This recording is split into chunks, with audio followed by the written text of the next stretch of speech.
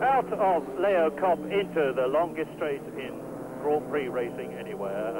And this is Patrick Tambay's moment of glory. His last race for, for Ferrari. He's in pole position for the third, third time in his life.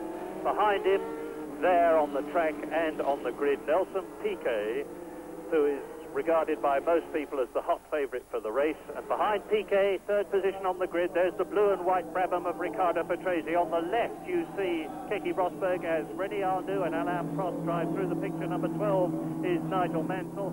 And John Watson, of course, after that pit stop, should be starting from the back of the grid. Now, up to the line they come, 26 of them. Patrese fans out a bit.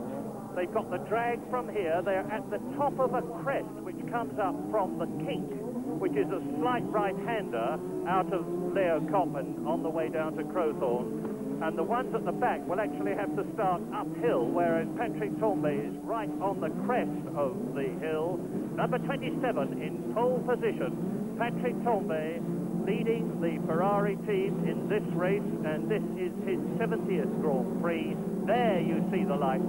When you see the red come on for the last Grand Prix of 1983, it will be followed not more than seven seconds later by the green, and then it is go for 100. There's the green, and away and out to the right goes Nigel Mansell.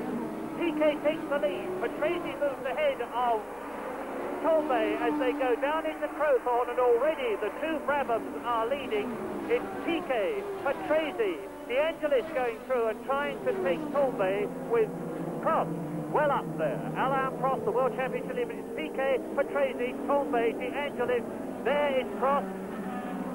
And behind Prost is his teammate, Eddie Cheever. And Nelson Piquet told me yesterday he was going to go hard for the first 10 laps, see how his tyres lasted. And this is very interesting because the Brabham team now are leading this race. Is Riccardo Patrese going to make things difficult for the rest behind him to get past him as De Angelis carries Tambay and enable Piquet to break away? Yes, Tambay went a little bit wide there into the left-hander. He held his place, but he slowed the others up, and he's got uh, de Cesaris climbing all over the back of him at the moment.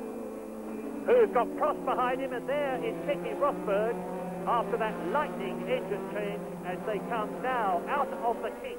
Now they're doing 180 miles an hour, building up to 200 at the end of lap one, and it's Nelson Piquet leading. Then Riccardo Patrese. De Angelis is taking Tambay. Prost is right behind him. Then it is Rosberg and Arnoux down to Crowthorne. Piquet. Yes, the has got uh, past the Ferrari there, and so did Alain Prost. But at the moment, and it looks like we've had an incident. The marshals were on the move there, there's yellow flags, but the cameras, uh, unfortunately, aren't in the right place. But um,